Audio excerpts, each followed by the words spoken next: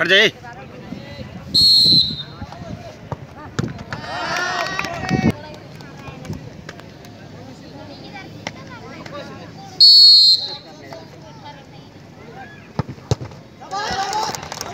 Ini cuma